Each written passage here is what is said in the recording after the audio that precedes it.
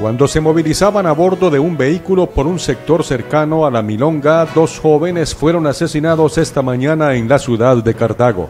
De acuerdo con las autoridades, los hechos ocurrieron hacia las 5 y 45 de la mañana en la calle Cuarta con carrera novena, donde sujetos desconocidos dispararon en repetidas oportunidades contra los ocupantes de una camioneta de color negro de placa CBO 234. Producto de varios impactos, fallecieron en el lugar Juan David Molina Carmona, de 24 años, conocido como Cartago, y John Freddy Rodríguez Ladino, a quien le decían el mexicano. Tras el ataque, el vehículo quedó sobre la acera y estuvo a punto de impactar una vivienda. Con este doble homicidio, se eleva a nueve el número de víctimas que dejan los violentos este año en la ciudad de Cartago.